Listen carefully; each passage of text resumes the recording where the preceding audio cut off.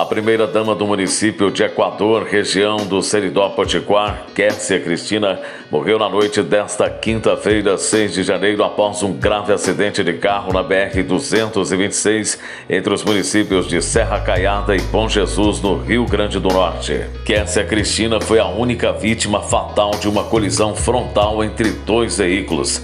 Vários destroços se espalharam pela pista. Ela foi socorrida pelo SAMU, Serviço de Atendimento Móvel de Urgência, e encaminhada para o Hospital Valfrido Gurgel, em Natal mas não resistiu. Kessia Cristina dirigiu o carro e viajava para Natal para buscar a filha.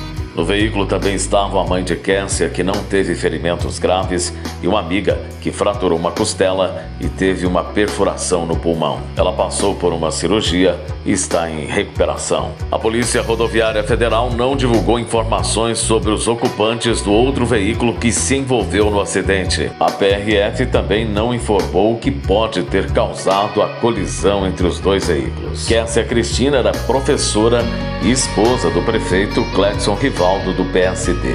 A Prefeitura de Equador publicou uma nota de pesar nas redes sociais em que informa o acidente e lamenta a morte da professora e primeira-dama Kessia Cristina. Pelas redes sociais, o prefeito Cledson Rivaldo também lamentou a morte da esposa. Abre aspas.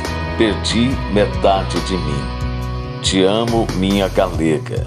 Estamos de corações partidos. Kessia, amor de nossas vidas.